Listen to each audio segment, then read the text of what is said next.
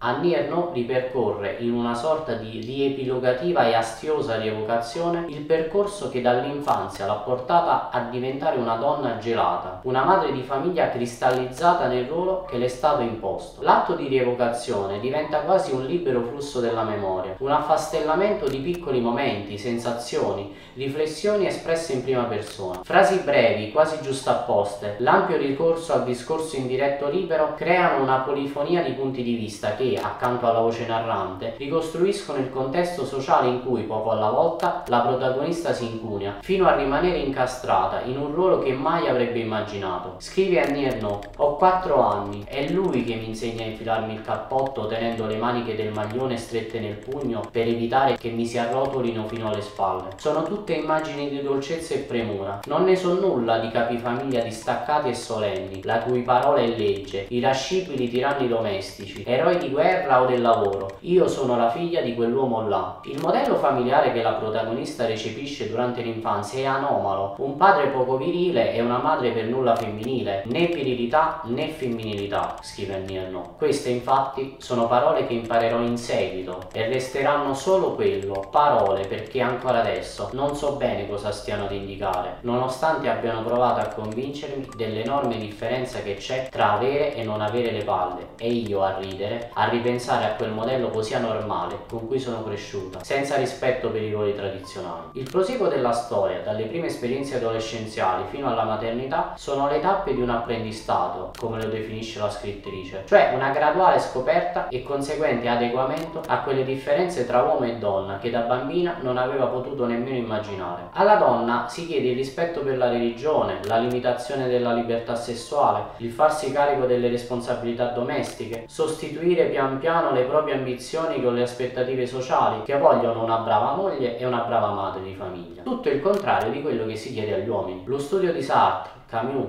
o la lettura de Il secondo sesso di Simone de Beauvoir non sono la garanzia di fuga dal modello sociale piccolo borghese. Aver letto Marchiuse e dell'insignificanza degli oggetti materiali non impedisce di cadere nella frenesia di arredare al meglio le stanze di casa, come tutte le famiglie della buona borghesia. Il modello sociale dominante è ben più pervasivo e coercitivo della forza emancipatrice della cultura. Senza contare che in ogni donna agisce anche un'altra forza, primitiva, quasi innata e preideologica, cioè quella forza forza che ti porta a ricercare amore, tenerezza, una fuga dalla solitudine, che ha come scotto da pagare, purtroppo, l'accettazione di una dinamica relazionale in cui quasi sempre la donna, alla ricerca di affetto sincero, si trova incastrata in un ingranaggio di subordinazione. Scrive Ernaud, la pentola a pressione, regalo di nozze, utilissimo vedrete, borbotta sul fuoco, uniti, simili, il trillo acuto del timer da cucina, altro regalo. La somiglianza finisce qui, uno dei due si alza, spegne la fiamma sotto la pentola, attende che la valvola impazzita si calmi, solleva il coperchio, filtra il brodo e torna ai propri libri, cercando di riprendere il filo della lettura. Io, eccola cominciata la differenza. Arnie Ernaux disegna una dinamica sottile di autosottomissione, che si dipana nei gesti semplici, così banali come alzarsi e spegnere una fiamma. Questi gesti appaiono insignificanti proprio perché il modello sociale ne ha naturalizzato la femminizzazione. È normale secondo quella società società che sia la donna ad occuparsi di certe cose e Annie si sente quasi obbligata ad alzarsi, senza che nemmeno il marito glielo chieda esplicitamente. È in questo sentimento spontaneo del dovere femminile che si misura la capacità subordinante della coercizione sociale, in cui il matrimonio non è l'approdo naturale di un amore completo, ma il compimento della metamorfosi da bimba piena di vita a donna gelata. L'acquisizione del cognome maschile diventa simbolo di una condizione di autoannullamento, di sparizione del sé originario in favore di un sé familiare in cui l'immagine dell'uomo piano piano si sovrappone alla donna fino ad annullarne qualsiasi volontà. Scrive Annie Ernaux, il mio cognome, quello che ho imparato a scrivere da piccola, lentamente, forse la prima parola che i miei genitori mi hanno obbligato a scrivere senza errori, quello che mi rendeva me stessa ovunque fossi, che rimbombava durante una ramanzina a scuola, sfavillante sulla pagella, sulle lettere delle persone che amavo, di colpo è svanito. Quando sento l'altro, più sordo, breve, ci metto sempre qualche secondo a riconoscermi. L'apprendistato è dunque compiuto. Come direbbe Pierre Bourdieu, l'habitus sociale ha fatto il suo sporco lavoro. Ora la protagonista, Annie Ernaux, ha finalmente chiara la differenza tra uomo e donna nella società borghese della Francia degli anni 60.